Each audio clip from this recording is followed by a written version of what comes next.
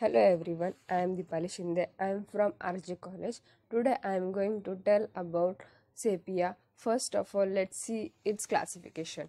Kingdom Animalia, phylum Mollusca, class Cephalopoda, order Dibranchiatea, suborder Decapoda, family Cephalidae, genus Sepia, species Sepia officinalis.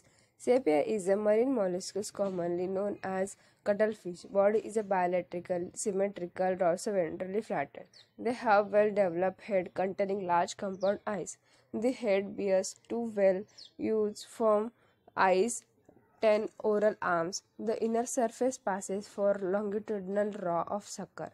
The mouth pair of the arms is comparatively longer and are called the tentacles. The tentacles have sucker restricted to the thick and tip. This is backside of the sepia and this is funnel which help to movement of forward side of this fin. The fin run around the lateral side of the body from behind the head.